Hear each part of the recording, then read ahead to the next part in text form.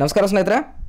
ನಾನು ನಿಮ್ಮೆಲ್ಲರ ಸ್ನೇಹಿತ ಮಾಂಸ ಸಾಬ್ ಮುಲ್ತಾನಿ. ಈ ಒಂದು ಸಂಚಿಕೆಯಲ್ಲಿ ಅನ್ ಅಕಾಡೆಮಿಯ ಒಂದು ಬೃಹತ್ ಶೈಕ್ಷಣಿಕ ಆ್ಯಪ್ನ ಮುಖಾಂತರ ನಿಮಗಾಗಿ ವಿಶೇಷ ಕೊಡುಗೆಯೊಂದನ್ನು ತೆಗೆದುಕೊಂಡು ಬರ್ತಾ ಇದ್ದೇನೆ. ಅದರ ಜೊತೆಗೆ ಈ ಒಂದು ಸಂಚಿಕೆಯಲ್ಲಿ ನಾನು ಭಾರತದ ಇತಿಹಾಸ, ಭಾರತದ ಸಂವಿಧಾನ ಹಾಗೂ ಇನ್ನಿತರ ಪ್ರಮುಖ ಪ್ರಶ್ನೋತ್ತರಗಳನ್ನು ಕರ್ನಾಟಕ ಲೋಕಸೇವಾ ಆಯೋಗ ನಡೆಸ್ತಕ್ಕಂಥ ಸ್ಪರ್ಧಾತ್ಮಕ ಪರೀಕ್ಷೆಗಳನ್ನು ಗಮನದಲ್ಲಿಟ್ಟುಕೊಂಡು ಅಧ್ಯಯನವನ್ನು ಮಾಡಲಿದ್ದೇವೆ.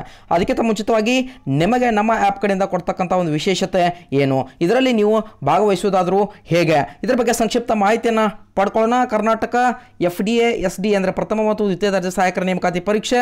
ಫ್ರೀ ಮಾಕ್ ಟೆಸ್ಟ್ ಚಾಂಪಿಯನ್ಶಿಪ್ಪನ್ನು ನಿಮಗಾಗಿ ನೀಡಲಾಗ್ತಾ ಇದೆ.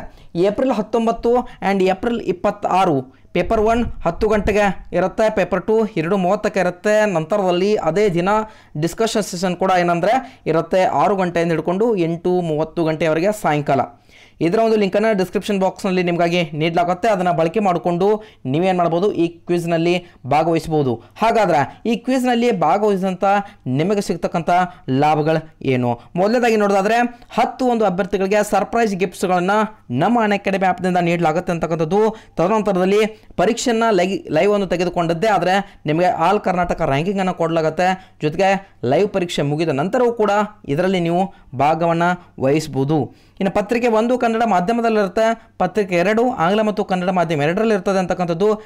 ಈ ಪರೀಕ್ಷೆಯ ಪ್ರಶ್ನೆ ಪತ್ರಿಕೆಯನ್ನು ಅನ್ ಅಕಾಡೆಮಿಯ ನುರಿತ ಒಂದು ಅಧ್ಯಾಪಕರುಗಳು ಸಿದ್ಧಪಡಿಸ್ತಾರೆ ಅಂತಕ್ಕಂಥದ್ದನ್ನ ನೆನಪಿಟ್ಕೊಳ್ಬೇಕು. ಅದ್ರ ಜೊತೆಗೆ test papers are reviewed by K S toppers. ಅಂದರೆ ಒಂದು ಬಾರಿ ಕೆ ಎಸ್ ಟಾಪರ್ಸ್ ಏನು ಮಾಡ್ತಾರೆ ಅಂದರೆ, ರಿವ್ಯೂ ಮಾಡ್ತಾರೆ. ಪರೀಕ್ಷೆ ಮುಗಿದ ನಂತರ ಎರಡು ಪತ್ರಿಕೆಗಳ ಕುರಿತು ವಿವರವಾದ ಚರ್ಚೆ ಇರ್ತದೆ ಅಂತಕ್ಕಂಥದ್ದು.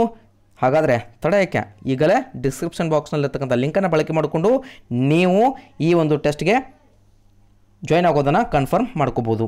ಹಾಗಾದರೆ ಈ ಒಂದು ಸಂಚಿಕೆಯಲ್ಲಿ ಕೆ ಪಿ ಎಸ್ ಸಿ ಬಹುನಿರೀಕ್ಷಿತ ಮಾದರಿ ಪ್ರಶ್ನೋತ್ತರಗಳನ್ನ ಚರ್ಚೆ ಮಾಡಲಿದ್ದೇವೆ. ನಾನು ನಿಮ್ಮೆಲ್ಲರ ಸ್ನೇಹಿತ ಮಾಂಸ ಮುಲ್ತಾನೆ, ನೇರವಾಗಿ ಪ್ರಶ್ನೋತ್ತರಗಳಿಗೆ ಕರ್ಕೊಂಡು ಹೋಗ್ತಾ ಇದ್ದೇನೆ. ಮೊದಲನೇ ಪ್ರಶ್ನೆ ನಿಮ್ಮ ಸ್ಕ್ರೀನ್ ಮೇಲೆ ಈ ರೀತಿಯಾಗಿದೆ. ಭೂಮಿಯ ಮೇಲಿನ ಅಧಿಪತ್ಯಕ್ಕೆ ಬದಲು ಸಮುದ್ರದ ಮೇಲಿನ ಏಕಸ್ವಾಮ್ಯಕ್ಕಾಗಿ ನೌಕಾಶಕ್ತಿಯನ್ನು ಬಲಪಡಿಸುವ ನೀಲಿ ನೀರಿನ ನೀತಿ ಜಾರಿಗೆ ತಂದ ವೈಸ್ರಾಯ್ ಯಾರು? ಪ್ರಶ್ನೆ, ಭೂಮಿಯ ಮೇಲಿನ ಅಧಿಪತ್ಯಕ್ಕೆ ಬದಲು ಸಮುದ್ರದ ಮೇಲಿನ ಏಕಸ್ವಾಮ್ಯಕ್ಕಾಗಿ ನೌಕಾಶಕ್ತಿಯನ್ನು ಬಲಪಡಿಸುವ ನೀಲಿ ನೀರಿನ ನೀತಿ ಜಾರಿಗೆ ತಂದ ವೈಸ್ರಾಯ್ ಯಾರು?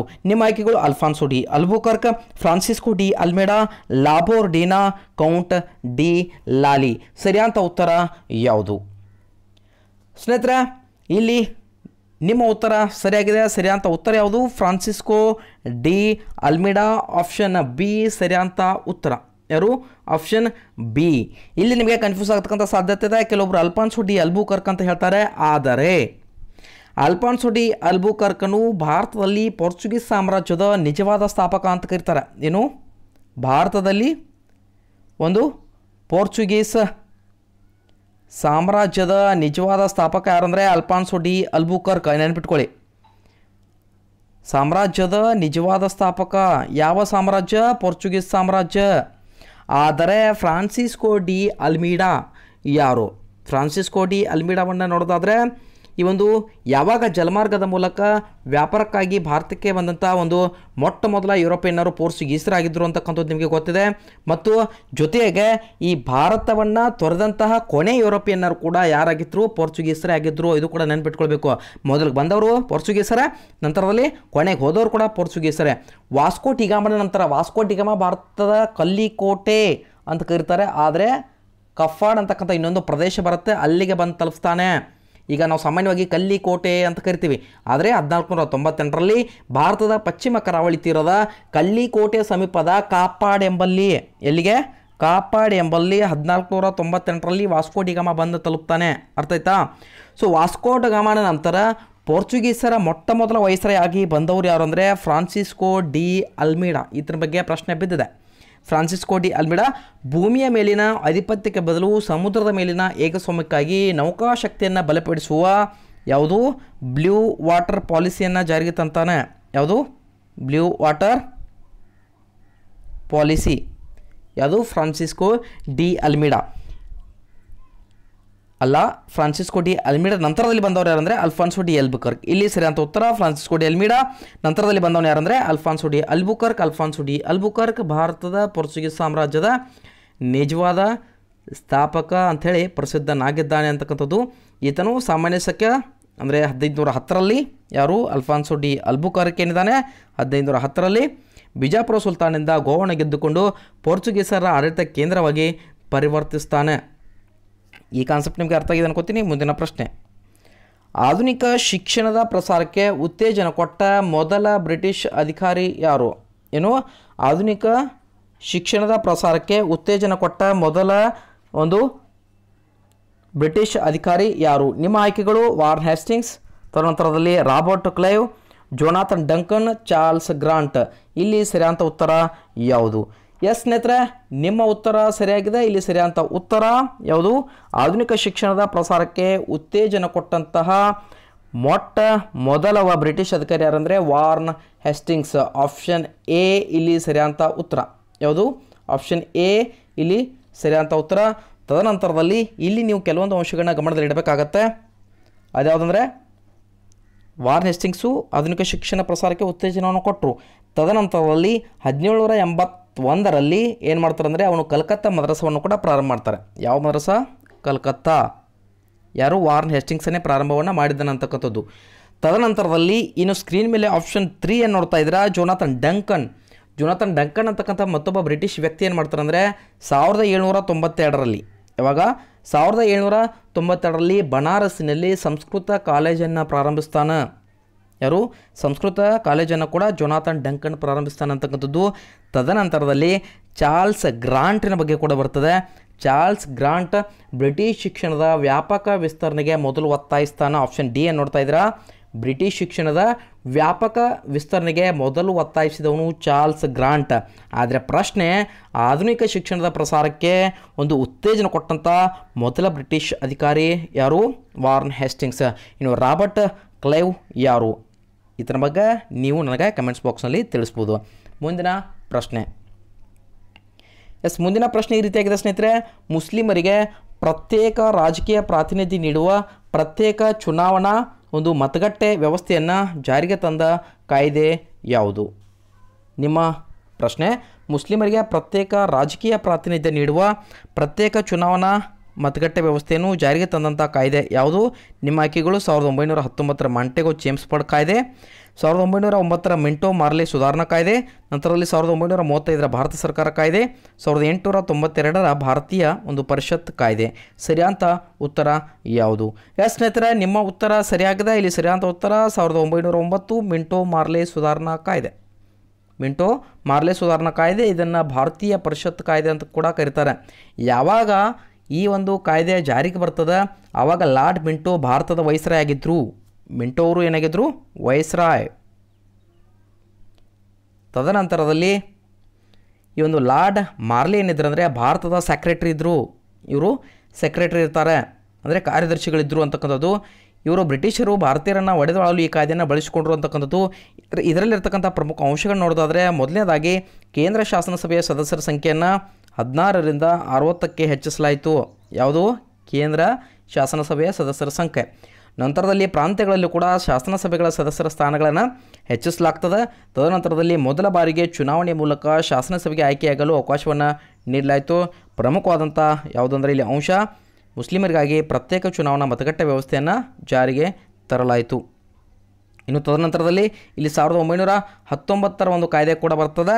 ಇದು ಕೂಡ ಮೋಸ್ಟ್ ಇಂಪಾರ್ಟೆಂಟ್ ಆಗಿದೆ. ಒಂದು ಬಾರಿ ಇದ್ರ ಮೇಲೆ ಗಮನವನ್ನು ಹರಿಸ್ ಹರ್ಸ್ಕೊಂಡ್ಬಿಡೋಣ ಸಾವಿರದ ಒಂಬೈನೂರ ಹತ್ತೊಂಬತ್ತರ ಮಾಂಟೆಗೋ ಚೇಮ್ಸ್ ಪಡ್ ಕಾಯ್ದೆ.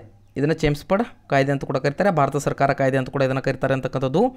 ಇಲ್ಲಿ ಸೆಕ್ರೆಟರಿ ಆಫ್ ಸ್ಟೇಟ್ ಆಗಿದ್ದಂಥ ಮಾಂಟೆಗೋ ಅವರು ಸೆಕ್ರೆಟರಿ ಆಗಿದ್ದರು. ಇನ್ನು ಚೇಮ್ಸ್ಪರ್ಡ್ ಪಡ್ ಅವರು ಏನಾಗಿದ್ದರು?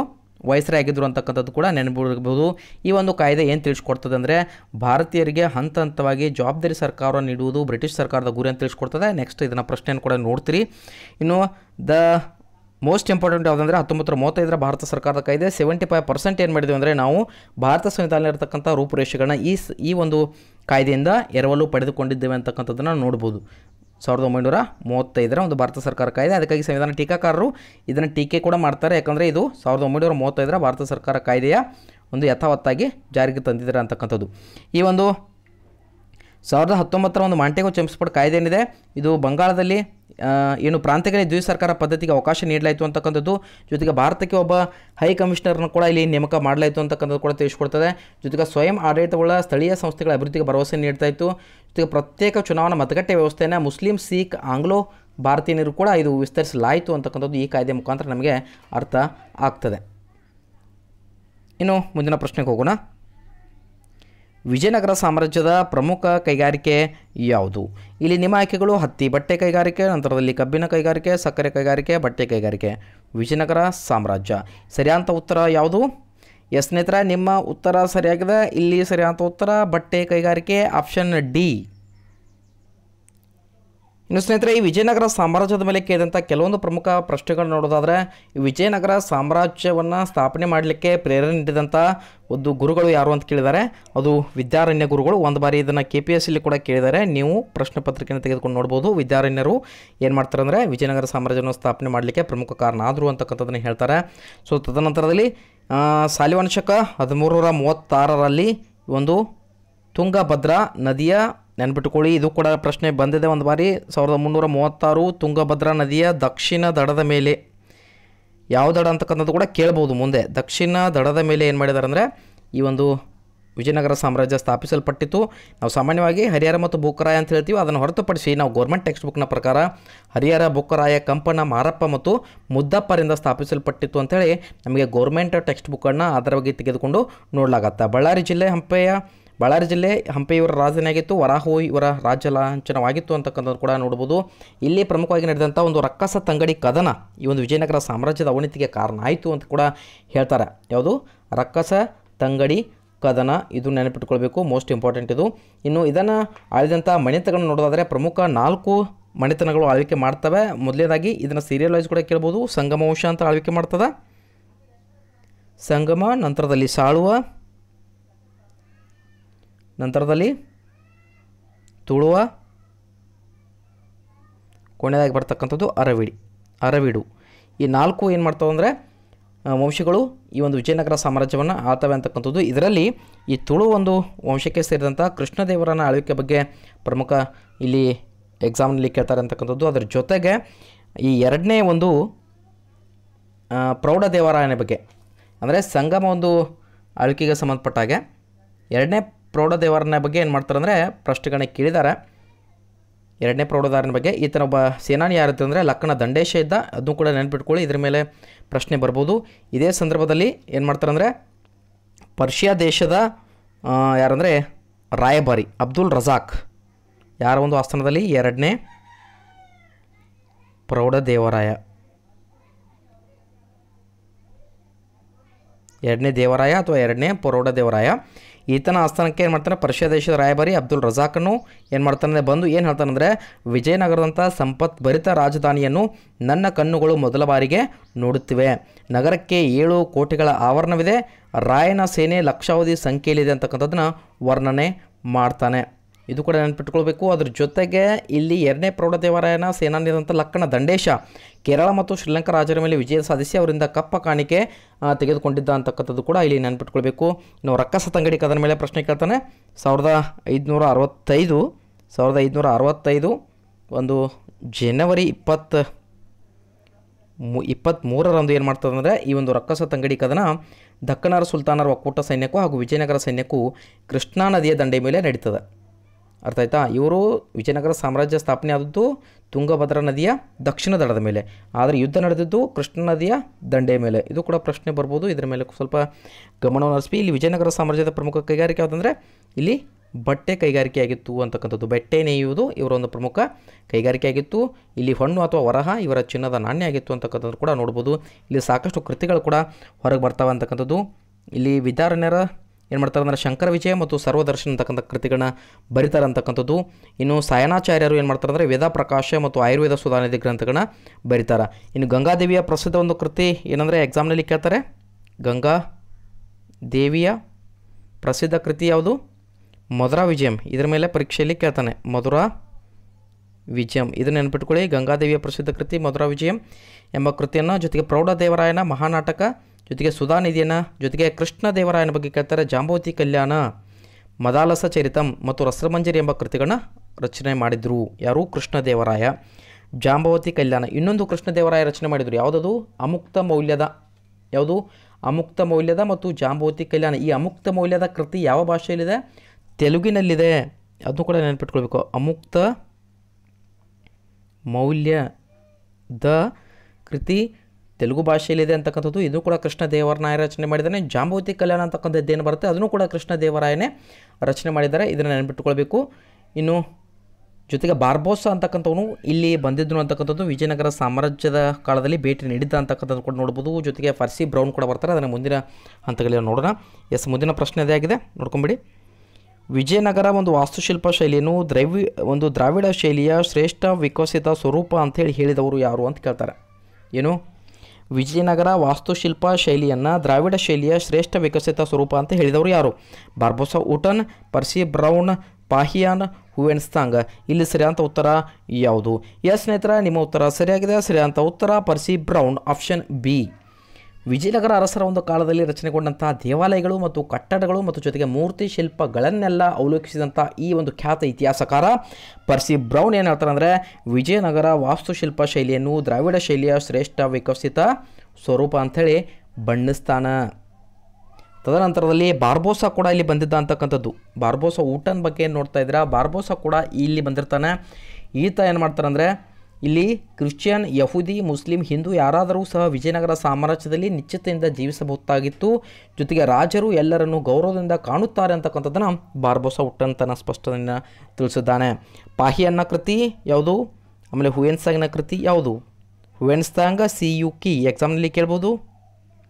ಪಾಹಿಯಾನ್ ಯಾವುದು ಸ್ನೇಹಿತರೆ? ಗೋಕೋಕಿ. ಅಥವಾ ಈ ಒಂದು ನಾವು ಆಥರ್ಸ್ ಬುಕ್ಕನ್ನ ನೋಡ್ತಾ ಇದ್ರೆ ಫೋಕೋಕಿ ಅಂತ ಬರುತ್ತೆ. ಅದನ್ನು ಕೂಡ ನೆನಪಿಟ್ಕೊಳ್ಬೇಕು. ಅದು ಫೋಕೋಕಿ ಅಂತ ಆಗುತ್ತೆ. ಆದರೆ ನಾವು ಈ ಒಂದು ಗೌರ್ಮೆಂಟ್ ಪಠ್ಯ ಪುಸ್ತಕಗಳನ್ನ ರೆಫರ್ ಮಾಡೋದಾದರೆ ಅಲ್ಲಿ ನಮಗೆ ಏನಂದರೆ ಗೋಕೋಕಿ ಅಂತ ಸಿಗುತ್ತೆ. Fa Hien, ಗೋಕೋಕಿ Hiuen Tsang Si Yu Ki ಅರ್ಥ ಆಯ್ತಾ? ಮುಂದಿನ ಒಂದು ಪ್ರಶ್ನೆಗೆ ಹೋಗೋಣ. ಸ್ನೇಹಿತರೆ, ಮುಂದಿನ ಪ್ರಶ್ನೆ, ಜಗದ್ಗುರು ಬಾದ್ಶಾ ಎಂಬ ಬಿರುದು ಹೊಂದಿದ ವಿಜಯಪುರ ಸುಲ್ತಾನ ಯಾರು? ಜಗದ್ಗುರು ಬಾದ್ಶಾಹ. ನಿಮ್ಮ ಆಯ್ಕೆಗಳು ಯೂಸುಫ್ ಆದಿಲ್ ಶಾ, ಎರಡನೇ ಇಬ್ರಾಹಿಂ ಆದಿಲ್ ಶಾ, ಮೊಹಮ್ಮದ್ ಆದಿಲ್ ಶಾ, ತದನಂತರದಲ್ಲಿ ಸಿಕಂದರ್ ಆದಿಲ್ ಶಾ. ಸರಿಯಾದಂಥ ಉತ್ತರ ಯಾವುದು? ಎಸ್ ಸ್ನೇಹಿತರೆ, ನಿಮ್ಮ ಉತ್ತರ ಸರಿಯಾಗಿದೆ. ಸರಿಯಾದಂಥ ಉತ್ತರ ಯಾವುದು? ಆಪ್ಷನ್ ಬಿ, ಎರಡನೇ ಇಬ್ರಾಹಿಂ ಆದಿಲ್ ಶಾ. ಎರಡನೇ ಇಬ್ರಾಹಿಂ ಆದಿಲ್ ಶಾ ಏನು ಮಾಡಿದ್ದಂದರೆ ಜಗದ್ಗುರು ಬಾದ್ಶಾ ಅಂತಕ್ಕಂಥ ಬಿರುದನ್ನು ಹೊಂದಿದ್ರು. ಈತನ ಕಾಲಘಟ್ಟವನ್ನು ನೋಡೋದಾದರೆ ಸಾಲಿವನ ಒಂದು ಶಕ ಅಥವಾ ಸಾಮಾನ್ಯ ಶಕ ಹದಿನೈದುನೂರ ಎಂಬತ್ತರಿಂದ ಹದಿನಾರುನೂರ ಇಪ್ಪತ್ತಾರು. ಈತನ ಒಂದು ಕಾಲಘಟ್ಟ ಇತ್ತು. ವಿಜಯಪುರ ಸುಲ್ತಾನರಲ್ಲೇ ಶ್ರೇಷ್ಠ ಅರಸನಾಗಿದ್ದ ಈತ, ಜಗದ್ಗುರು ಬಾದಶಾ ಅಂತಕ್ಕಂಥದ್ದು ಈತನಿಗಿರ್ತಕ್ಕಂಥ ಬಿರುದು. ಈತ ಏನಂದರೆ ಧರ್ಮ ಸ್ನಹಿಷ್ಣು ಸುಲ್ತಾನನಾಗಿದ್ದ ಅಂತಕ್ಕಂಥದ್ದು ಕೂಡ ನೆನಪಿಟ್ಟುಕೊಳ್ಬೇಕು ಅನೇಕ ಹಿಂದೂ ವಿದ್ವಾಂಸರು, ಕವಿಗಳು ಮತ್ತು ಸಂಗೀತಕಾರರಿಗೆ ಆಶ್ರಯ ನೀಡ್ತಾನ. ತನ್ನ ಅರಮನೆ ಕೋಟೆಯಲ್ಲಿ ದತ್ತ ದೇವಾಲಯಗಳನ್ನು ದುರಸ್ತಿ ಮಾಡಿಸಿ ಪೂಜೆಗೆ ವ್ಯವಸ್ಥೆಯನ್ನು ಕೂಡ ಮಾಡಿಸಿರ್ತಾನೆ. ಈತನ ಬಗ್ಗೆ ಒಂದು ಪ್ರಶ್ನೆಯನ್ನು ಕೇಳ್ತಾನೆ. ಅದು ಈತನ ಕೃತಿ ಯಾವುದು? ಅದು ಎರಡನೇ ಇಬ್ರಾಹಿಂ ಅದಿಲ್ ಶಾ ಈತನ ಕೃತಿ ಯಾವುದು? ಉರ್ದು ಭಾಷೆಯಲ್ಲಿ ರಚನೆ ಮಾಡಿ, ಹಿಂದೂ ಮುಸ್ಲಿಮರ ಏಕತೆಗೆ ಕೂಡ ಶ್ರಮಿಸ್ತಾನೆ ಉರ್ದು ಭಾಷೆಯಲ್ಲಿ ರಚನೆ ಮಾಡಿದಂಥ ಕಿತಾಬ್ ಯಾವುದ್ರಿ? ಕಿತಾಬ್ ಈ ನವರಸ್. ತುಂಬ ಇಂಪಾರ್ಟೆಂಟ್ ಇದೆ. ಇಲ್ಲಿ ಒಂದೇ ಪ್ರಶ್ನೆ ನೀವು ಕೇಳ್ತಾ ಇದ್ರು ಕೂಡ ಇಲ್ಲಿ ಸುಮಾರು ಹತ್ತಾರು ಪ್ರಶ್ನೆಗಳಿಗೆ ನಿಮ್ಮ ಉತ್ತರ ಸಿಗ್ತಾ ಇದೆ. ದಯವಿಟ್ಟು ಈ ರೀತಿ ಅಂತ ನಿಮಗೆ ಇಂಟ್ರೆಸ್ಟಿಂಗ್ ವಿಡಿಯೋಗಳು ಇಷ್ಟ ಆಗಿದ್ದರೆ ದಯವಿಟ್ಟು ವಿಡಿಯೋನ ಲೈಕ್ ಮಾಡೋದನ್ನು ಮರಿಬೇಡಿ ಸ್ನೇಹಿತರೆ. ನಮ್ಮ ಶ್ರಮ ಸಾರ್ಥಕ ಆಗುತ್ತೆ. ಇಲ್ಲಿ ಎರಡನೇ ಇಬ್ರಾಹಿಂ ಆದಿಲ್ ಶಾನ ಒಂದು ಪುಸ್ತಕ ಯಾವುದಂದರೆ ಕಿತಾಬ್ ಈ ನವರಸ್ ಇದು ಉರ್ದು ಭಾಷೆಯಲ್ಲಿದೆ. ಈ ಪುಸ್ತಕ ಯಾವುದಕ್ಕೆ ಸಂಬಂಧಪಟ್ಟಿದೆ ಅಂತಕ್ಕಂಥದ್ದು ನೋಡಿದ್ರೆ ಸಂಗೀತವನ್ನು ಮುಸಲ್ಮಾನರಲ್ಲಿ ಜನಪ್ರಿಯಗೊಳಿಸಲು ಇಲ್ಲಿ ಯತ್ನಿಸಲಾಗಿದೆ ಅಂತಕ್ಕಂಥದ್ದನ್ನು ನೋಡ್ಬೋದು. ಕಿತಾಬ್ ಈ ನವರಸ್ ಮುಖಾಂತರ ಸಂಗೀತವನ್ನು ಮುಸಲ್ಮಾನರಲ್ಲಿ ಜನಪ್ರಿಯಗೊಳಿಸಲು ಯತ್ನಿಸಲಾಗಿದೆ. ಜೊತೆಗೆ ಈ ಕೃತಿ ಏನು ಈ ಕಿತಾಬ್ ಈ ನವರಸ್ ಇದೆ. ಈ ಕೃತಿ ಹಿಂದೂ ದೇವತೆಗಳಾದ ಸರಸ್ವತಿ, ಗಣಪತಿ, ಭೈರವ ಮುಂತಾದವರ ಸ್ತುತಿಯಿಂದ ಆರಂಭವಾಗ್ತದೆ. ದ ಮೋಸ್ಟ್ ಇಂಪಾರ್ಟೆಂಟ್ ಅದ್ರ ಜೊತೆಗೆ ಇವನು ಸ್ವತಃ ಒಳ್ಳೆಯ ಸಂಗೀತಗಾರನಾಗಿದ್ದ. ಜೊತೆಗೆ ದ ಮೋಸ್ಟ್ ಇಂಪಾರ್ಟೆಂಟ್ ಕೇಳ್ತಕ್ಕಂಥದ್ದು ಭವ್ಯ ವಾಸ್ತುಶಿಲ್ಪವಾದ ಯಾವುದು? ಇಬ್ರಾಹಿಂ ರೋಜಾ. ಇದು ಇವನದೇ ರಚನೆಯಾಗಿದೆ. ಎಲ್ಲಿ ಕಂಡು ಬರುತ್ತೆ ಇಬ್ರಾಹಿಂ ರೋಜಾ? ಇಬ್ರಾಹಿಂ ರೋಜಾ ಎಲ್ಲಿದೆ ಸ್ನೇಹಿತರೆ? ವಿಜಯಪುರ. ಎಲ್ಲಿ ಕಂಡು ಬರುತ್ತೆ? ವಿಜಯಪುರದಲ್ಲಿ ಕಂಡು ಬರುತ್ತೆ. ಈ ಕಾನ್ಸೆಪ್ಟ್ ಕೂಡ ನಿಮಗೆ ಅರ್ಥ ಆಗಿದೆ ಅನ್ಕೋತೀನಿ. ಮುಂದಿನ ಪ್ರಶ್ನೆ. ಎಸ್ ಆಂಡಾಳರ ಮೂಲ ಹೆಸರು ಏನು? ಆಂಡಾಳ್. ಈಗ ನಾವು ಯಾವಾಗ ಭಕ್ತಿ ಪಂಥ ಆಗಿರ್ಬೋದು, ಜೊತೆಗೆ ಸೂಪಿ ಪಂಥ ಆಗಿರ್ಬೋದು, ಇಂಥ ಒಂದು ಸಾಕಷ್ಟು ಅಂಶಗಳನ್ನ ನಾವು ನೋಡ್ತೀವಿ. ಇಲ್ಲಿ ಆಂಡಾಳರ ಮೂಲ ಹೆಸರು ಯಾವುದು ಅಂತ ಕೇಳಿದ್ದಾರೆ ಸೊ, ಆಂಡಾಳರ ಮೂಲ ಹೆಸರು ನಿಮ್ಮ ಆಯ್ಕೆಗಳು ಗಂಗಾದೇವಿ, ಮಹಾದೇವಿ, ಸೀತಾದೇವಿ ಮತ್ತು ಗೋದಾದೇವಿ. ಹಾಗಾದರೆ ಸರಿಯಾದ ಉತ್ತರ ಯಾವುದು? ಸ್ನೇಹಿತರ, ಎಸ್, ನಿಮ್ಮ ಉತ್ತರ ಸರಿಯಾಗಿದೆ. Option D, Godadevi. ತಮಿಳುನಾಡಿನ ವಿಷ್ಣು ಭಕ್ತರಾದ ಹನ್ನೆರಡು ಮಂದಿ ಒಂದು ಆಳವರಲ್ಲಿ ಆಂಡಾಳ್ ಕೂಡ ಒಬ್ಬರಾಗಿದ್ದರು ಅಂತಕ್ಕಂಥದ್ದು ಮಹಿಳೆ. ಈಕೆಯ ಒಂದು ಹೆಸರೇನಾಗಿತ್ತು ಗೋದಾದೇವಿ ಆಗಿತ್ತು ಇವರು ವಿಷ್ಣು ಚಿತ್ತರ ಸಾಕು ಮಗಳಾಗಿದ್ದರು ವಿಷ್ಣು ಚಿತ್ತರ ಒಬ್ಬರು ಆಳ್ವಾರಿದ್ದರು ಇವರನ್ನು ಪೇರಿ ಆಳ್ವಾರ್ ಅಂತಕ್ಕಂಥ ಹೆಸರಿಂದ ಕರಿತಾ ಇದ್ರು. ಆಂಡಾಳ ಮೂಲ ಹೆಸರು ಏನಾಗಿತ್ತು ಅಂದರೆ ಗೋದಾದೇವಿ ಆಗಿತ್ತು ಇವರು ಕೃಷ್ಣನ ಭಕ್ತರಾಗಿದ್ದರು ಅಂತಕ್ಕಂಥದ್ದು. ಇನ್ನು ಏನು ಮಾಡ್ತಂದರೆ ಕೃಷ್ಣನ್ನೇ ಪ್ರೇಮಿಸಿ ಆತನೇ ತನ್ನ ಗಂಡನೆಂದು ಹೇಳ್ತಾಳೆ. ಜೊತೆಗೆ ಇವರು ತಿರುಪಾಮೈ ಎಂಬ ಗ್ರಂಥ ರಚಿಸಿ ದೇವರಿಗೆ ಸಮರ್ಪಣೆ ಮಾಡ್ತಾರೆ ಅಂತಕ್ಕಂಥದ್ದು ತಮಿಳುನಾಡಲ್ಲಿ ಈ ತಿರುಪಾಮೈ ವೃತ ಆಚರಣೆಗೆ ತುಂಬ ಪ್ರಸಿದ್ಧಿ ಹೊಂದಿದೆ. ಅದಲ್ಲದೆ ಅಕ್ಕ ಮಹಾದೇವಿಯು ಕೂಡ ನಾವು ನೋಡ್ಬೋದು, ಶಿವಮೊಗ್ಗ ಜಿಲ್ಲೆಯ ಒಂದು ಉಡುತಡಿಯಲ್ಲಿ ಜನಿಸುತ್ತಾರೆ. ಚನ್ನಮಲ್ಲಿಕಾರ್ಜುನ ಇವರ ವಚನಗಳ ಅಂಕಿತ ಆಗಿತ್ತು ಜೊತೆಗೆ ಪುರಂದರದಾಸರ ಬಗ್ಗೆ ಕೂಡ ನೋಡ್ಬೋದು ನಾವು. ಪುರಂದರ ವಿಠಲ ಇವರ ವಚನಗಳ ಅಂಕಿತನಾಗಿತ್ತು, ಜೊತೆಗೆ ಕರ್ನಾಟಕ ಸಂಗೀತದ ಪಿತಾಮ ಅಂತ ಕರಿತೀವಿ ಪುರಂದರದಾಸರನ್ನು ದಾಸರಂದರೆ ಪುರಂದರ ದಾಸರೇ ಅಂತೇಳಿ ತಮ್ಮ ಗುರುಗಳಾದಂಥ ವ್ಯಾಸರಾಯರಿಂದನೇ ಇವರು ಹೊಗಿಸ್ಕೊ ಹೊಗಿಸ್ಕೊಳ್ತಾರೆ ಅಂತಕ್ಕಂಥದ್ದು. ತದನಂತರದಲ್ಲಿ ಕನಕದಾಸರ ಬಗ್ಗೆ ನಾವು ನೋಡ್ತೀವಿ. ಇದು ಆದಿಕೇಶವ ಅಂತಕ್ಕಂಥದ್ದು, ಇವರ ವಚನಗಳ ಅಂಕಿತನಾಮ ಆಗಿತ್ತು ಇವರ ತಂದೆ ತಾಯಿ ಬೀರಪ್ಪ ಮತ್ತು ಬಚ್ಚಮ್ಮ ಆಗಿದ್ದರು ಅಂತಕ್ಕಂಥದ್ದು. ನಾವು ನೋಡಿದ್ವಿ ಸಾಕಷ್ಟು ಕುಲ ಕುಲ ಎಂದು ಹೊಡೆದಾಡಿದರೆ ಅಂತಕ್ಕಂಥದ್ದು ಬಗ್ಗೆ ಹೇಳ್ತಾರೆ. ಜೊತೆಗೆ ಶಿಶುನಾಥ್ ಶರೀಫ್ ಅವರು ಕೂಡ ಇಲ್ಲಿ ಪ್ರಮುಖವಾಗಿ ಬರ್ತಾರೆ. ಅವ್ರನ್ನ ಕರ್ನಾಟಕದ ಕಬೀರ ಅಂತ ಕರೀತಾರೆ. ಇದು ಕೂಡ ಪ್ರಶ್ನೆ ಬರ್ಬೋದು. ಇನ್ನು ಈ ಒಂದು ಕನಕದಾಸ ರಚನೆ ಮಾಡಿದಂಥ ಹರಿಭಕ್ತ ಸರ ಆಗಿರ್ಬೋದು, ನಳಚರಿತ್ರೆ ಆಗಿರ್ಬೋದು, ರಾಮದಾನ ಚರಿತ್ರೆ ಆಗಿರ್ಬೋದು, ಇವೆಲ್ಲವೂ ಕೂಡ ಎಕ್ಸಾಮ್ಲಿ ಕೇಳ್ಬೋದು. ಯಾವುದಾದ್ರೂ ಒಂದು ಇದರಲ್ಲಿ ಸಾಂಗತ್ಯ ಕೃತಿಗಳು, ಮೋಹನ ತರಂಗಿನಿ ಸಾಂಗತ್ಯ ಕೃತಿಯಾಗಿತ್ತು ಅಂತಕ್ಕಂಥದ್ದು. ಇನ್ನು ಶಿಶುನಾಥ್ ಶರೀಫರ ಗುರು ಗೋವಿಂದ ಭಟ್ರ ಬಗ್ಗೆ ಕೂಡ ಕೇಳ್ಬೋದು. ಅವ್ರ ಗುರುಗಳು. ಜೊತೆಗೆ ಕಬೀರ್ ದಾಸ್ ಅವರು ಕೂಡ ಬರ್ತಾರೆ. ನಂತರದಲ್ಲಿ ಗುರುನಾನಕ್ ಅವರು. ಗ್ರಂಥ ಸಾಹಿಬ್ ಅಂತಕ್ಕಂಥ ಸಿಖ್ಖರ ಪವಿತ್ರ ಗ್ರಂಥವನ್ನು ನೋಡ್ಬೋದು ಇಲ್ಲಿ. ಇನ್ನು ಬೀದರ್ನಲ್ಲಿ ತಂಗಿದಂಥ ಸ್ಥಳವನ್ನು ನಾನಕ್ ಜರ ಸಿಹಿನೀರಿನ ಬುಗ್ಗೆ ಅಂತ ಕೂಡ ಈ ಗುರುನಾನಕ್ ಅವರು ಕರೆದಿದ್ದಾರೆ ಅಂತಕ್ಕಂಥದ್ದು ಕೂಡ ನೋಡ್ಬೋದು. ತುಳಸಿದಾಸರು ಕೂಡ ಬರ್ತಾರೆ. ರಾಮಚರಿತಮಾನಸ್ ಇವರ ಒಂದು ಶ್ರೇಷ್ಠ ಗ್ರಂಥ ಆಗಿದೆ. ಸ್ನೇಹಿತರೆ, ಮುಂದಿನ ಒಂದು ಪ್ರಶ್ನೆ. ಪ್ರಶ್ನೆ ರೀತಿಯಾಗಿದೆ? ಕೆಳಗಿನ ಪಟ್ಟಿಗಳನ್ನು ಹೊಂದಿಸಿ ಚಿಕ್ಕ ದೇವ ರಾಜ ಒಡೆಯರ್, ಟಿಪ್ಪು ಸುಲ್ತಾನ್, ನಾಲ್ವಡಿ ಕೃಷ್ಣರಾಜ ಒಡೆಯರ್, ಸರ್ ಎಂ ವಿಶ್ವೇಶ್ವರಯ್ಯ, ಜಯಚಾಮರಾಜ ಒಡೆಯರ್.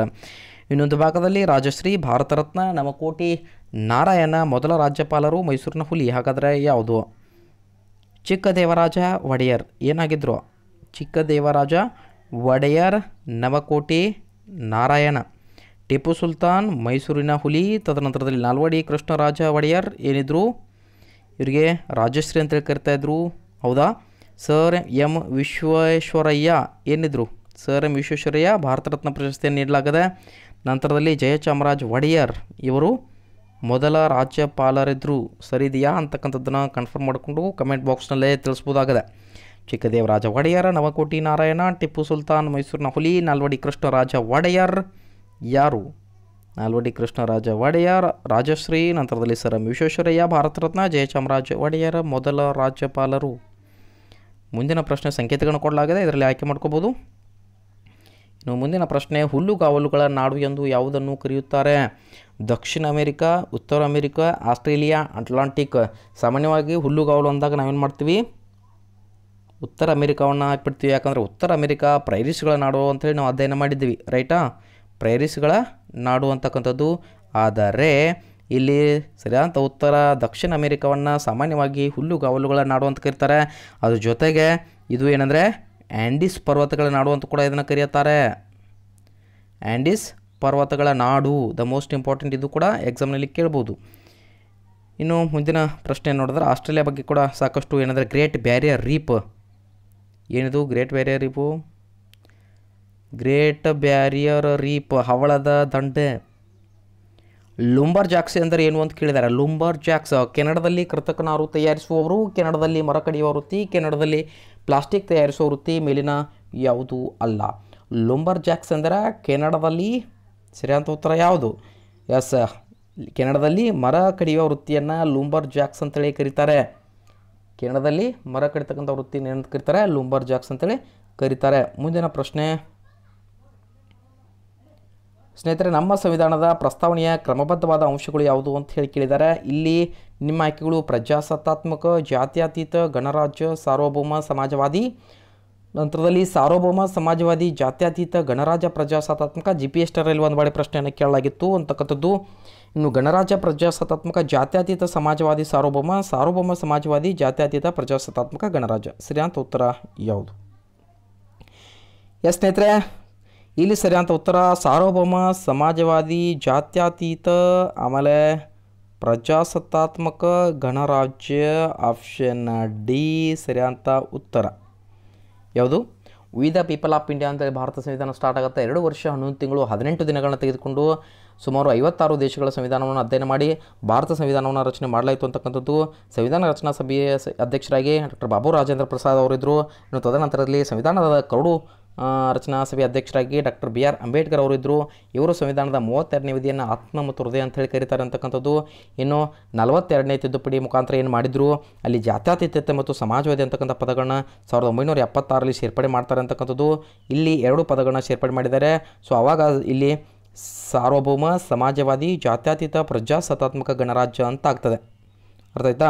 ನಲವತ್ತೆರಡನೇ ತಿದ್ದುಪಡಿಯನ್ನು ಈ ಡಾಕ್ಟರ್ ಬಿ ಆರ್ ಅಂಬೇಡ್ಕರ್ ಅವರು ಮಿನಿ ಸಂವಿಧಾನ ಅಂತ ಕೂಡ ಕರೀತಾರೆ. ಎಸ್, ಮುಂದಿನ ಪ್ರಶ್ನೆ. ಆಡಳಿತದಲ್ಲಿ ಸಹಕರಿಸಲು ಅಷ್ಟಪ್ರಧಾನರು ಎಂಬ ಎಂಟು ಮಂತ್ರಿಗಳು ಯಾರ ಆಸ್ಥಾನದಲ್ಲಿದ್ದರು? ಸರಳವಂತ ಪ್ರಶ್ನೆ. ಆಡಳಿತದಲ್ಲಿ ಸಹಕರಿಸಲು ಅಷ್ಟಪ್ರಧಾನರು ಎಂಬ ಎಂಟು ಮಂತ್ರಿಗಳು ಯಾರ ಆಸ್ಥಾನದಲ್ಲಿದ್ದರು? ಈ ಮಾಹಿತಿಗಳು ಛತ್ರಪತಿ ಶಿವಾಜಿ, ರಾಜ ಜಯಸಿಂಹ, ಅಕ್ಬರ್ ಕೃಷ್ಣದೇವ ರಾಯ. ಸರಳವಂತ ಪ್ರಶ್ನೆ. ಎಸ್, ಸ್ನೇಹಿತರೆ, ನಿಮ್ಮ ಉತ್ತರ ಸರಿಯಾಗಿದೆ. ಸರಿಯಾದ ಉತ್ತರ ಛತ್ರಪತಿ ಶಿವಾಜಿ ಯಾರು? ಛತ್ರಪತಿ ಶಿವಾಜಿ.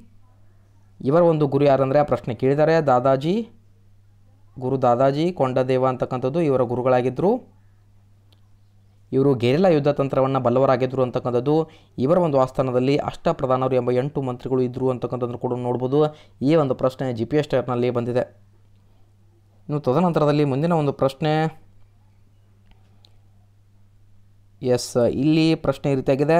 ಆಪ್ಷನ್ ಪಟ್ಟಿ ಎ ಮತ್ತು ಪಟ್ಟಿ ಬಿ. ತುಳಸಿದಾಸ, ಅಬುಲ್ ಫಜಲ್ ಶಹಜಾನ್, ಜೇಶಿಯಾ, ಅಕ್ಬರ್.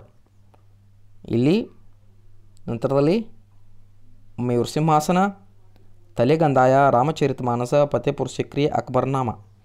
ಒಂದೊಂದಾಗಿ ಹೊಂದಿಕೆ ಮಾಡ್ಕೊಂಬಿಡೋಣ ಇಲ್ಲಿ. ತುಳಸಿದಾಸ್, ಒಂದು ಶ್ರೇಷ್ಠ ಕೃತಿ, ರಾಮಚರಿತ ಮಾನಸ್.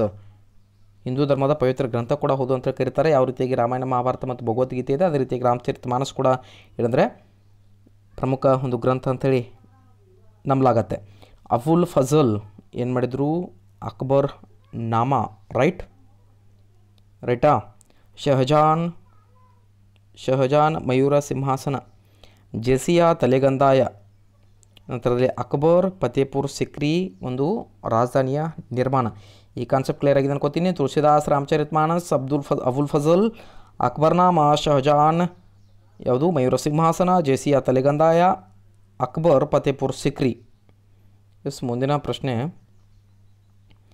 ಎಸ್ ಸ್ನೇಹಿತರೆ, ಪ್ರಶ್ನೆ ರೀತಿಯಾಗಿದೆ. ಒಂದು ಒಳ್ಳೆಯ ಐರೋಪ್ಯ ಗ್ರಂಥಾಲಯದ ಒಂದು ಕಪಾಟಿನ, ಒಂದು ಸಾಲಿನ ಪುಸ್ತಕಗಳಿಗೆ ಇಡೀ ಪೂರ್ವ ಜ್ಞಾನ ಭಂಡಾರ ಸರಿಸಾಟಿಯಲ್ಲ ಅಂತಕ್ಕಂಥ ಹೇಳಿದವರು ಯಾರು? ಪ್ರಶ್ನೆ ತುಂಬ ಸರಳವಾಗಿದೆ. ಒಂದು ಒಳ್ಳೆಯ ಐರೋಪ್ಯ ಗ್ರಂಥಾಲಯದ ಒಂದು ಕಪಾಟಿನ ಒಂದು ಸಾಲಿನ ಪುಸ್ತಕಗಳಿಗೆ ಇಡೀ ಪೂರ್ವ ಜ್ಞಾನ ಭಂಡಾರ ಸರಿಸಾಟಿಯಲ್ಲ ಅಂತಕ್ಕಂಥ ಹೇಳಿದವರು ಯಾರು? ನಿಮ್ಮ ಆಯ್ಕೆಗಳು Lord Macaulay Sir William Bentinck, Sir William Jones, Robert Clive. ಇಲ್ಲಿ ಸರಿಯಾದ ಉತ್ತರ ಯಾವುದು? ಎಸ್, ನಿಮ್ಮ ಉತ್ತರ ಸರಿಯಾಗಿದೆ. ಲಾರ್ಡ್ ಮೆಕಾಲೆ ಇವರ ಒಂದು ಶಿಕ್ಷಣದ ವರದಿ ಇತ್ತು ಸಾವಿರದ ಎಂಟುನೂರ ಮೂವತ್ತೈದು, ರೈಟ್? ನಂತರದಲ್ಲಿ ಚಾರ್ಲ್ಸ್ ವುಡ್ ವರದಿ, ಸಾವಿರದ ಎಂಟುನೂರ ಐವತ್ನಾಲ್ಕು ಆಮ್ ರೈಟ್ ಸೊ ಈ ಎರಡು ಒಂದು ವರದಿಗಳ ಆಧಾರದ ಮೇಲೆ ಏನಂದರೆ ಶಿಕ್ಷಣ ಪದ್ಧತಿಯನ್ನು ರೂಪಣೆ ಮಾಡಲಿಕ್ಕೆ ಪ್ರಯತ್ನವನ್ನು ಪಡಲಾಗತ್ತೆ ಅಂತಕ್ಕಂಥದ್ದು. Sir William Bentinck Asiatic Society ಅಂತಕ್ಕಂಥದ್ದನ್ನು ಅಲ್ಲಿ ನೋಡ್ಬೋದು. ಅವ್ರ ಬಗ್ಗೆ ಸರ್ ವಿಲಿಯಂ ಜೋನ್ಸ್ ಕೂಡ ರಾಬರ್ಟ್ ಕ್ಲೈವ್ನ ಬಗ್ಗೆ ಏನಂದರೆ ಪ್ರಮುಖ ಗವರ್ನರ್ ಜನರಲ್ ಆಗಿದ್ದರು ಸಾಕಷ್ಟು ಅಂಶಗಳು ಇದ್ರ ಮೇಲೆ ಪ್ರಶ್ನೆಗಳು ಕೇಳ್ತಾರೆ. ಸುರಪುರ ವಂಶದ ಸ್ಥಾಪಕ ಯಾರು ಅಂತ ಕೇಳಿದ್ದಾರೆ. ಸುರಪುರ ವಂಶದ ಸ್ಥಾಪಕ ನಲ್ವಡಿ ವೆಂಕಟಪ್ಪನ. ಗುಡ್ಡಿಪಿಡ್ಡ ನಾಯಕ ಮತ್ತು ತಿಮ್ಮಣ್ಣ ರಾಜವೀರ ಮದಕರಿ ಸರಿಯಾದ ಉತ್ತರ ಯಾವುದು? ಎಸ್ ಸ್ನೇಹಿತರ, ನಿಮ್ಮ ಉತ್ತರ ಸರಿಯಾಗಿದೆ. ಸರಿ ಅಂತ ಉತ್ತರ. ಗುಡ್ಡಿ ಪಿಡ್ಡ ನಾಯಕ ಆಪ್ಷನ್ ಬಿ ಸರಿ ಅಂತ ಉತ್ತರ. ಎಸ್ ಸ್ನೇಹಿತರೆ, ಮುಂದಿನ ಒಂದು ಪ್ರಶ್ನೆ. ಸ್ನೇಹಿತರೆ, ಮುಂದಿನ ಪ್ರಶ್ನೆ ಈ ರೀತಿಯಾಗಿದೆ. ಪರಂಗಿ ಯಾವ ಭಾಷೆಯ ಪದ ಅಂತ ಹೇಳಿ ಕೇಳಿದ್ದಾರೆ. ಈ ನಿಮ್ಮ ಆಯ್ಕೆಗಳು ಪೋರ್ಚುಗೀಸ್, ಸಂಸ್ಕೃತ, ಪರ್ಷಿಯನ್ ಮತ್ತು ಇಂಗ್ಲೀಷ್. ಸರಿಯಾದ ಉತ್ತರ ಯಾವುದು? ಎಸ್ ಸ್ನೇಹಿತರೆ, ನಿಮ್ಮ ಉತ್ತರ ಸರಿಯಾಗಿದೆ. Option C, Persian. ಪರಂಗಿ ಪರ್ಷಿಯನ್ ಭಾಷೆ ಮೂಲದಾಗಿದೆ ಇದನ್ನು ಉರ್ದು ಮತ್ತು ಹಿಂದಿಗಳಲ್ಲಿ ಯುರೋಪಿಯರನ್ನು ಕೀಳಾಗಿ ಸೂಚಿಸಲು ಬಳಸಲಾಗ್ತಾ ಇತ್ತು ಯಾವಾಗ ಮೀರತ್ನಲ್ಲಿ ದಂಗೆ ಸಾಲಿವಂಶಕ ಹದಿನೆಂಟುನೂರ ಐವತ್ತೇಳು ಮೇ ಹತ್ತರಂದು ಪ್ರಾರಂಭ ಆಗ್ತದ? ಉತ್ತರ ಒಂದು ಪ್ರಾಂತ್ಯಗಳಾದಂಥ ಉತ್ತರ ಪ್ರಾಂತ್ಯಗಳಲ್ಲಿ ವ್ಯಾಪಕವಾಗಿ ಏನಂದರೆ ಹರಡ್ತದೆ. ಅದರಲ್ಲಿ ಮುಖ್ಯವಾಗಿ ಬ್ಯಾರಕ್ಪುರದ ಪ್ರದೇಶದಲ್ಲಿ ಮಂಗಲ್ ಪಾಂಡೆ ಏನು ಮಾಡ್ತಾರೆ ಬಿ, ಬ್ರಿಟಿಷ್ ಅಧಿಕಾರಿ ಮೇಜರ್ ಒಂದು ಹಡ್ಸನನ್ನು ಕೊಲೆ ಮಾಡ್ತಾನೆ. ಅಲ್ಲಿಂದ ಏನಾಗುತ್ತೆ ಅಂದರೆ ದಂಗೆಗಳು ಪ್ರಾರಂಭ ಆಗ್ತದೆ. ಆವಾಗ ಸಿಪಾಯಿಗಳು ಏನು ಮಾಡ್ತಾರೆ ಅಂದರೆ ಮಾರೋ ಪರಂಗಿಕು ಅಂತಕ್ಕಂಥ ಒಂದು ಘೋಷಣೆಯನ್ನು ಕೂಗ್ತಾ ದಿಲ್ಲಿಯ ಕಡೆಗೆ ಏನು ಮಾಡ್ತಾರೆ ಅಂದ್ರೆ ಸಾಕ್ತಾರೆ. ಅಲ್ಲಿ ಮೊಘಲ್ ದೊರೆ ಎರಡನೇ ಬಹದ್ದೂರ್ ಶಾನನ್ನು ಭಾರತದ ಚಕ್ರವರ್ತಿ ಅಂಥೇಳಿ ಘೋಷಣೆ ಮಾಡ್ತಾರೆ. ಎಸ್ ಸ್ನೇಹಿತರೆ, ಮುಂದಿನ ಪ್ರಶ್ನೆ, ಇಲ್ಲಿ ಪ್ರಶ್ನೆ ಸರಳ ಇದ್ದರೂ ಕೂಡ ನೀವು ಕನ್ಫ್ಯೂಸ್ ಆಗತಕ್ಕಂಥ ಸಾಧ್ಯತೆ ಇದೆ, ಸಾಕಷ್ಟು ಅಭ್ಯರ್ಥಿಗಳು ಮತ್ತೆ ಕಮೆಂಟ್ನಲ್ಲಿ ನನಗೆ ಮೆಸೇಜ್ ಮಾಡ್ಬೋದು.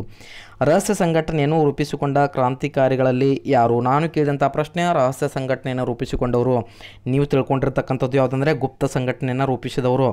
ಗುಪ್ತ ಬೇರೆ, ರಹಸ್ಯ ಸಂಘಟನೆ ಬೇರೆ, ಇದನ್ನು ಗಮನದಲ್ಲಿಟ್ಕೊಳ್ಬೇಕು ರಹಸ್ಯ ಸಂಘಟನೆಯನ್ನು ರೂಪಿಸಿಕೊಂಡ ಕ್ರಾಂತಿಕಾರಿಗಳಲ್ಲಿ ಮೊದಲನೆಯವರು ಯಾರು? ನಿಮ್ಮ ಆಯ್ಕೆಗಳು ವಿನಾಯಕ ದಾಮೋದರ್ ಸಾವರ್ಕರ್, ಚಂದ್ರಶೇಖರ್ ಆಜಾದ್ ವಾಸುದೇವ್, ಬಲವಂತ ಪಡಕೆ, ಭಗತ್ ಸಿಂಗ್ ಸರಿಯಾದಂಥ ಉತ್ತರ ಯಾವುದು? ಎಸ್ ಸ್ನೇಹಿತರೆ, ಇಲ್ಲಿ ಸರಿಯಾದ ಉತ್ತರ ವಿನಾಯಕ್ ದಾಮೋದರ್ ಸಾವರ್ಕರ್ ಅಂತಿದ್ದೀರಾ? ಅಲ್ಲ, ತಪ್ಪು. ಯಾಕಂದರೆ ವಿನಾಯಕ್ ದಾಮೋದರ್ ಸಾವರ್ಕರ್ ಅವರು ಮಿತ್ರಮೇಳ ಅಂತಕ್ಕಂಥ ಗುಪ್ತ ಸಂಘಟನೆಯನ್ನು ಕಟ್ಟಿದ ಮೊದಲಿಗರು. ರಹಸ್ಯ ಸಂಘಟನೆಯನ್ನು ರೂಪಿಸಿಕೊಂಡ ಕ್ರಾಂತಿಕಾರಿಗಳಲ್ಲಿ ಮೊದಲನೆಯವರು ವಾಸುದೇವ್ ಬಲ, Balwant Phadke according to government text book ರಹಸ್ಯ ಸಂಘಟನೆಯನ್ನು ರೂಪಿಸಿಕೊಂಡಂಥ ಕ್ರಾಂತಿಕಾರಿಗಳಲ್ಲಿ ಮೊದಲನೆಯವರು ಯಾರಂದರೆ ವಾಸುದೇವ್ ಬಲವಂತ ಫಡಕೆ. ಈ ಒಂದು ಪ್ರಶ್ನೆ ನಿಮಗೆ ಅರ್ಥ ಆಗಿದೆ ಅಂತ ಹೇಳಿ ಭಾವಿಸ್ತೀನಿ. ಸ್ನೇಹಿತರೆ, ಇಲ್ಲಿ ಹದಿನೇಳು ಪ್ರಶ್ನೆಗಳನ್ನ ಚರ್ಚೆ ಮಾಡಿದ್ದೀವಿ. ಮುಂದೆ ಬರ್ತಕ್ಕಂಥ ದಿನಗಳಲ್ಲಿ ಇದರ ಮುಂದಿನ ಪ್ರಶ್ನೆಗಳನ್ನ ಚರ್ಚೆ ಮಾಡೋಣ. ಯಾಕಂದರೆ ನಿಗದಿತ ಒಂದು ಅವಧಿಯಲ್ಲಿ ನಾವು ಇಂತಿಷ್ಟು ಒಂದು ಪ್ರಶ್ನೆಗಳನ್ನ ನೀಡಬೇಕಾಗತ್ತೆ.